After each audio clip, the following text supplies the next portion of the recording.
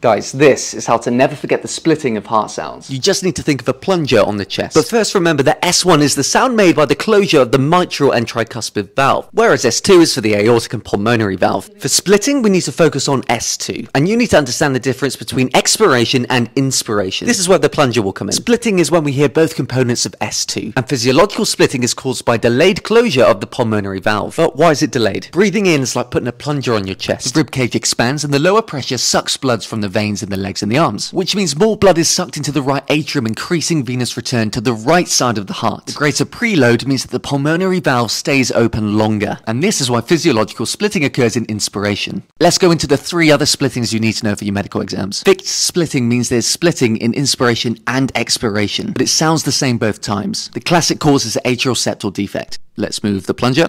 A wide split also has splitting in inspiration and expiration, but like normal splitting, it gets wider in inspiration. Think of conditions which continuously overload that right ventricle, like pulmonary stenosis and a right bundle branch block. Paradoxical split is opposite to normal. It happens when the aortic valve closes late, in conditions like aortic stenosis or a left bundle branch block. I hope that helps. If you want to study medicine smarter, then like and follow for more.